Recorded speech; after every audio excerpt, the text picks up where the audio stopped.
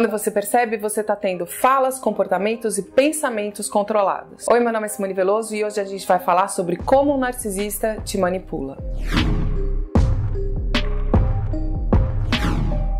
Eu já pensei em várias formas diferentes de começar um vídeo, porque eu sei que muita gente segue o canal, acompanha fielmente o canal e eu sempre começo falando: é, essa é uma etapa difícil, isso é doloroso, mas de verdade, eu não sei como fazer de uma forma diferente, porque a gente está falando de coisas extremamente complexas. E apesar de ser cansativo, e eu sei que é muito maçante falar isso, hoje a gente vai falar sobre uma parte especialmente complexa. Quando a gente pensa em manipulação, quando a gente pensa em jogo de abuso narcisista, a gente está falando de uma trama, de uma teia, onde a gente é levado a ter pensamentos, sensações, comportamentos e a gente não se dá conta. É feito de um jeito tão sutil sutil que quando a gente percebe, a gente acredita que aquilo é o correto, a gente acredita naquela realidade, a gente fica preso naquela história sem se dar conta. Eu tenho feito algumas lives no Instagram, aliás, o tema desse vídeo surgiu por conta de uma live no Instagram. E como não tem horário fixo para isso acontecer, se você quiser participar, clica aqui no grupo do WhatsApp que a gente te avisa quando esses eventos ocorrem.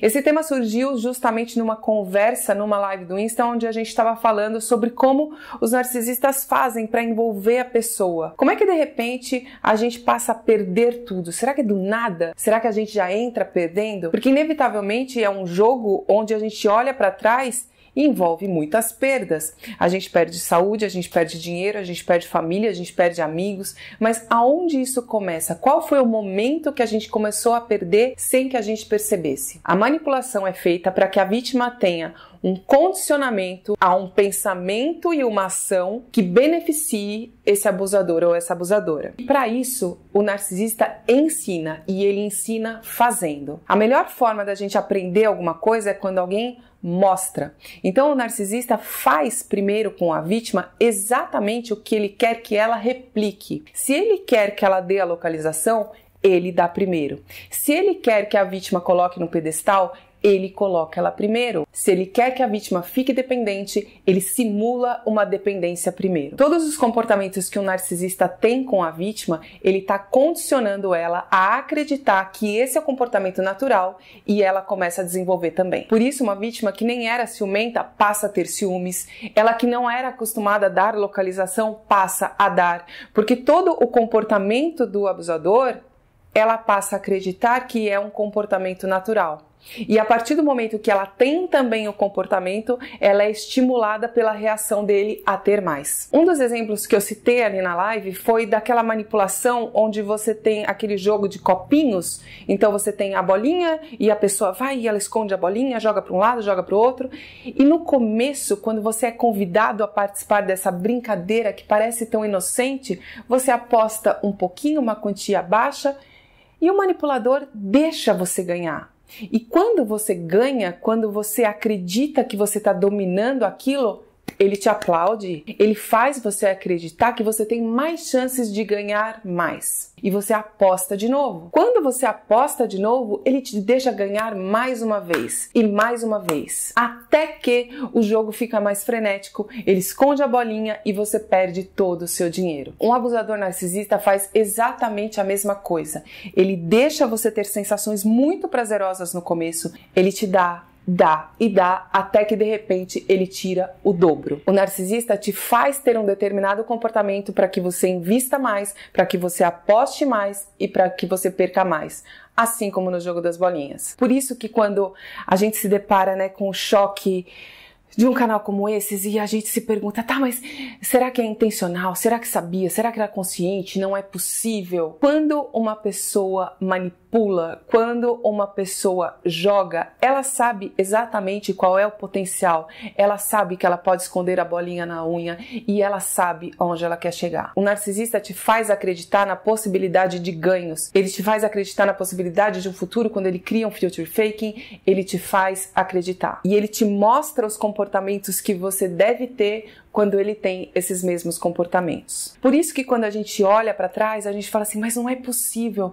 Era uma pessoa tão legal, era uma pessoa tão boa, falava comigo, dava satisfação, fazia isso, fazia aquilo". Ele estava exatamente te condicionando e te manipulando a ter exatamente esse comportamento. E a vítima fica desesperadamente tentando voltar para esse primeiro momento onde, claro, era muito gostoso, era muito satisfatório, porque no momento em que se ganha é tudo muito bom, mas não passa pela cabeça da vítima que esse é o momento do condicionamento. E a manipulação acontece em diversos setores do abuso. Então a gente pode pensar na manipulação emocional, na manipulação financeira, na manipulação sexual, ou seja, um abusador ele vai fazer com que a vítima tenha exatamente o comportamento que ele quer que ela tenha, que ele precisa que ela tenha, para que o mantenha ou a mantenha num pedestal e faça exatamente tudo o que for preciso para que ela se torne cada vez mais dependente. E aí a gente chega no ponto mais importante desse vídeo, que é a manipulação, ela é extremamente necessária para um narcisista, porque no fundo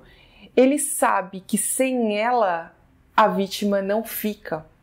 A manipulação, ela dá controle, ela dá poder, ela dá domínio, faz com que a vítima faça coisas, mas sem ela a vítima não ficaria ele por si só não segura ninguém. E quando eu martelo na tecla que o conhecimento ajuda muito a libertar, é que quando você para para pensar nesses pontos, isso ajuda você a se soltar da ideia de que você precisa desta pessoa.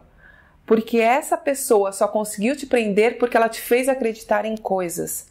Você não precisa dela. Não é real o sentimento, não é real a sensação, nada é real. Claro que falando assim parece que é muito simples, né? A partir do momento que se elabora, tá resolvida a questão. E é óbvio, eu sei que não. Mas ajuda muito quando a gente entende como é feito, por que é feito e por que eu sinto. E a partir disso a gente consegue desfazendo esse nó. Nas etapas que são mais dolorosas, como tratamento de silêncio, descarte, quando você tá passando por uma dor muito intensa, quando você tem esse tipo de clareza, né? Quando você consegue chegar nesse tipo de clareza, eu acredito que dê um pouco mais de, de bálsamo para essa sensação, né? Alivia um pouco dessa sensação quando você entende que, apesar de estar sentindo, você foi levado a sentir e se não fosse essa condução, você nem sentiria. Não é amor, não é nada disso. Aliás, é muito distante. Vai passar. O jogo de abuso narcisista é muito complexo porque envolve toda essa trama. E para desfazer esse nó, é complicado, né? Envolve uma série de sensações e de sentimentos, mas é, como eu sempre falo, possível. E claro que quando a gente fala sobre narcisismo, isso só pode ser diagnosticado por um psicólogo ou um psiquiatra que esteja acompanhando regularmente essa pessoa. Então isso aqui não serve como um diagnóstico, mas serve como norte caso você acredite que esteja passando por essa situação, inclusive para que você possa pedir ajuda.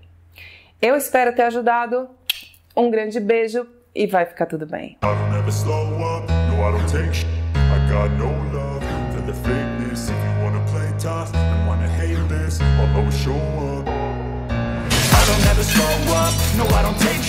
I got no love for the fakeness. If you wanna